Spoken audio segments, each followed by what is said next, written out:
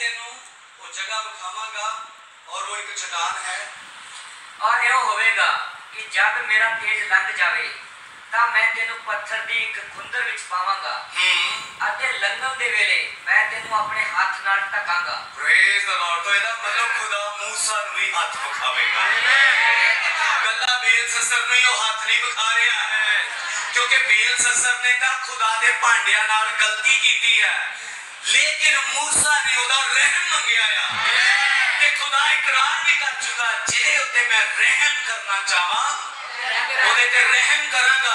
ਇਹਦਾ ਮਤਲਬ ਮੂਸਾ ਦੇ ਉੱਤੇ ਜਿਹੜਾ ਹੱਥ ਆ ਰਿਹਾ ਭਾਈਓ ਉਹ ਰਹਿਮ ਦਾ ਹੱਥ ਆ। ਆਮੇਨ ਕਿਉਂਕਿ ਖੁਦਾ ਦਾ ਪਿਆਰ ਆ ਕੋਈ ਮਨੁੱਖ ਮੈਨੂੰ ਵੇਖ ਕੇ ਜੀ ਨਹੀਂ ਸਕਦਾ। ਹੁਣ ਬੇਸ਼ੱਕ